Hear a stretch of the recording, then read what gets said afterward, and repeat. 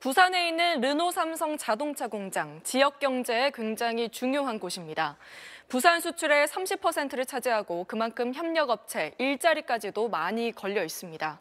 그런데 노사 갈등이 심해지면서 르노 본사가 주문을 줄이려고 해서 지금 걱정이 커지고 있습니다. 송성준 기자입니다.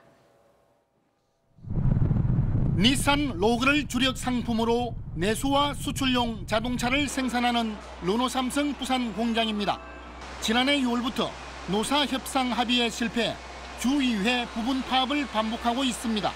노조는 임금 인상은 양보하겠다며 대신 근무 조건 개선을 요구하고 있습니다. 작업의 전환 배치때 그리고 노동 강도 완화를 위해 신규 외주 인력을 뽑을 때 노조와 협의가 아닌 합의를 통해 실시하라는 겁니다. 배치 전환 그리고 근무 강도가 너무 높기 때문에 그걸 이제 완화하기 위해서 협의라는 문구를 합의로 바꿔달라는 얘기죠. 하지만 사측은 경영권 침해라며 거부하고 있습니다.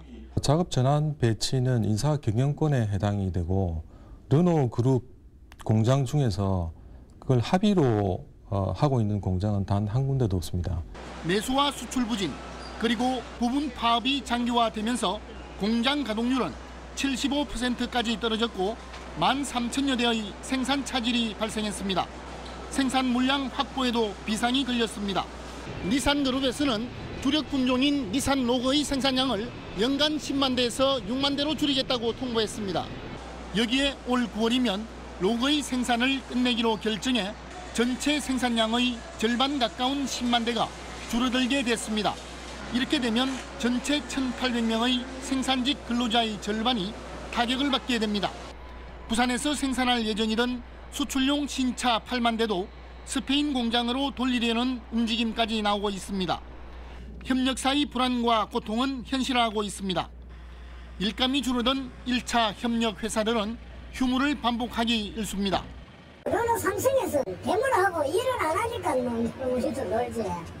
2차, 3차 협력사들은 생존 위협까지 느끼고 있습니다.